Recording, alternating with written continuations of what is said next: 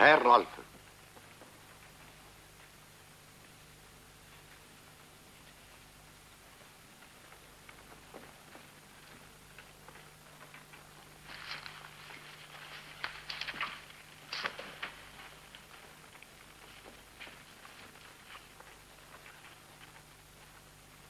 Col permesso del tribunale.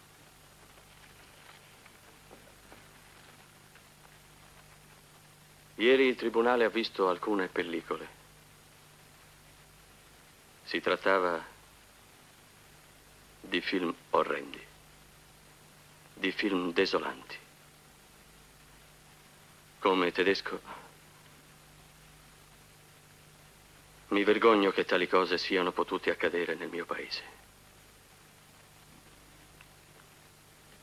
Per esse non vi potrà mai essere giustificazione né per generazioni,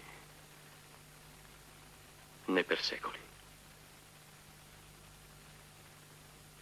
Ma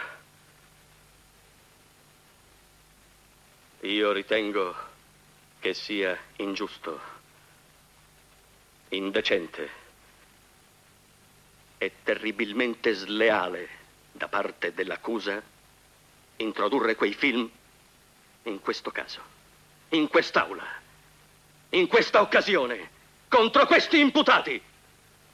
E non protesterò mai abbastanza contro una simile tattica.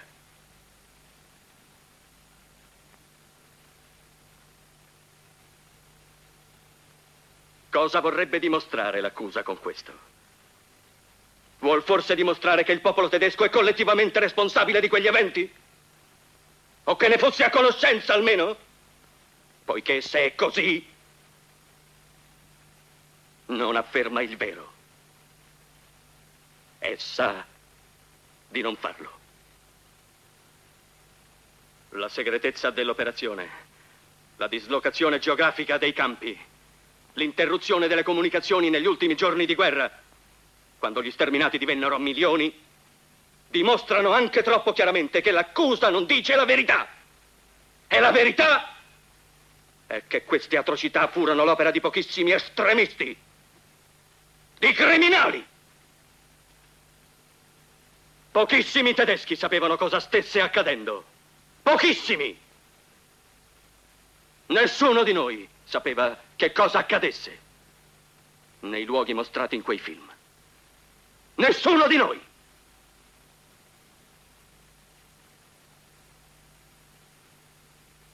La più grottesca parte di tutto ciò è che l'accusa si serva di quei film contro questi imputati. Uomini che rimasero al potere per un solo motivo, per impedire che accadessero cose peggiori. Chi è più coraggioso? Colui che scappa o si dimette di fronte al pericolo? O colui che resta al suo posto rischiando di pagare di persona? La difesa presenterà testimonianze, lettere e documenti di perseguitati politici e religiosi di tutto il mondo i quali affermano che Janning li salvò dalla pena di morte. La difesa dimostrerà quante volte Ernst Janning riuscì a far mitigare una sentenza, quando senza la sua influenza il verdetto sarebbe stato ben peggiore. La difesa dimostrerà che Ernst Janning aveva un medico personale, che non era ariano, un medico ebreo del quale continuò a servirsi a suo rischio e pericolo.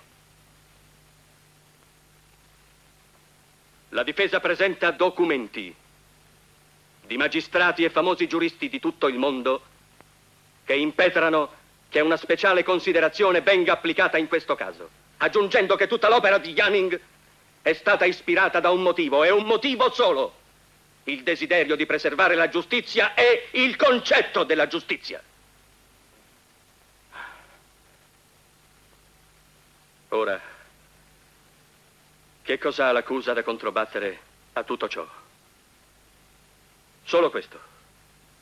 La pubblica accusa, infatti, ha presentato a carico di Ernst Janning un solo tangibile elemento di prova. Il caso Feldenstein, un caso scottante, come la difesa ha detto, che mai avrebbe dovuto essere riesumato. Un caso che la difesa è obbligata a riesaminare.